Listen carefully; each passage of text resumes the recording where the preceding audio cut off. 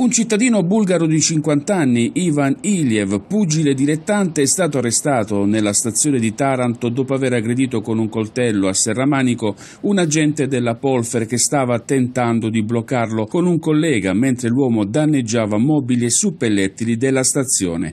L'agente è rimasto illeso grazie al fatto che le coltellate sferrate all'altezza del torace sono state bloccate dal telefonino che era in tasca. I tagli sono comunque evidenti sulla divisa.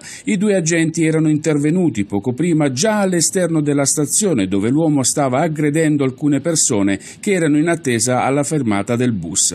All'arrivo degli agenti l'uomo era entrato nella stazione scatenandosi contro i mobili, è stato poi bloccato dai due agenti e arrestato per tentato omicidio.